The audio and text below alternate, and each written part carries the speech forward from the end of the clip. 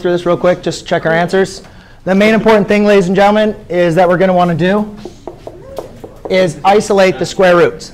All right? So the main important thing we always want to do is isolate the square root. So now I have the square root of 4x minus 1 equals positive 5. Now, to undo squaring, we're simply going to, or undo the square root, we are going to square both sides. By squaring both sides, I'm left with 4x minus 1 equals 25. Now, when I go ahead and solve, I'm going to add 1. Add 1. I get 4x equals 26. Divide by 4, divide by 4.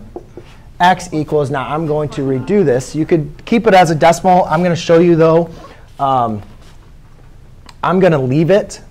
I'm just going to show you. I'm going to leave it as uh, 26 over 4. Yes, that is 6.5.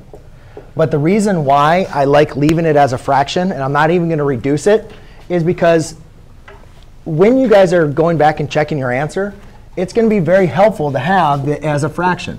I'll show you why.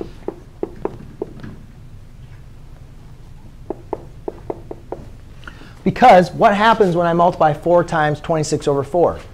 The 4's divide out, and I'm left with the square root of 26 minus 1 minus 5 equals 0. If you would have done 6.5, you would have got the same answer. To me, it's just not visually as easy to see that it gives you um, 26. Then 26 minus 5, or 26 minus 1 is 25. The square root of 25 minus 5 equals 0. So the answer works. But I, did, Okay. I got the same thing even if I did 6.5. I know, I know. I'm not saying 6.5 is wrong.